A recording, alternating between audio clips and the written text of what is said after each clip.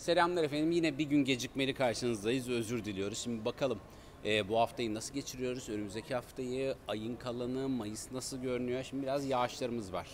E, haftanın kalanında da sıklıkla yağış görebileceğiz. Özellikle orta güney bölgelerde. Ama yavaş yavaş enerjisini yitirmeye başlıyor.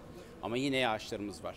Sıcaklıklar bu haftanın ikinci yarısında biraz daha yükseliyor. Hafta sonunda bölgesel yağmur geçişleri beklesek de hem güneş alabileceğiz hem de sıcaklıklar haftanın ilk yarısından biraz daha yüksek.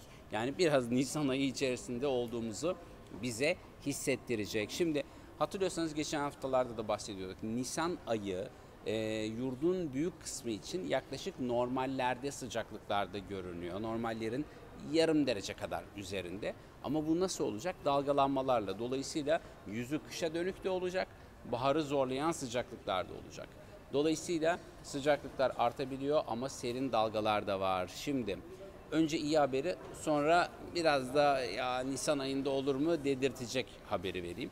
Ayın 20'sinden sonra sıcaklıklar böyle artık bahar sıcaklıklarına yerleşiyor. Nisan gibi hani Nisan gibi Nisan diyebileceğimiz sıcaklıklara çıkıyor. Ama arada ayın 15 ile 20'si arasında kuzey bölgelerde 9, 10, 11 derecelere bile sıcaklıkların gerileyeceği değerler ölçülebilecek.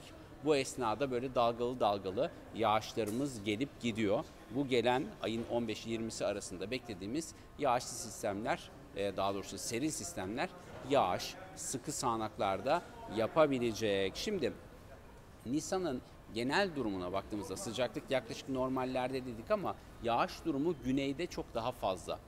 Ege, Güney Ege, Akdeniz, Güneydoğu normallerin üzerinde, Karadeniz normalin altında yağış alıyor. Dolayısıyla önümüzdeki günlerde de ayın kalan 3'te 2'lik kısmında da ağırlıkla Karadeniz'in, İç Anadolu'nun yağışları biraz az. Nisan'a göre güneyin, normallerin üzerinde Marmara'da ise hani normaller e, kıvamında gitmesi bekleniyor. Mayıs'a ilerlediğimizde ne oluyor? Bari Mayıs'ta e, daha bir hani sıcak günlerin sayısı biraz daha fazla olur mu diye baktığımızda biraz bir dengeye geliş var. Yani güneydeki aşırı yağışlar normale yaklaşıyor. Kuzeyde Karadeniz'de örneğin normallerin altındaki yağışlar normallere yaklaşmaya başlayacak. Sıcaklıklarda Mayıs normallerinde tabii Nisan'dan bir tık daha yukarıda sıcaklık değerleri görebileceğiz. Şu anki Nisan'ın kalanı, e, kalanıyla Mayıs'ın genel toparlaması yaklaşık bu şekilde. Yani şunu söylüyoruz. Nisan ayı içerisinde daha bir Nisan dedirtecek sıcaklık değerlerini 20'sinden e, sonra 21-22'sinden itibaren daha fazla görebileceğiz. Tamam mı? Hadi görüşelim. Hoşçakalın.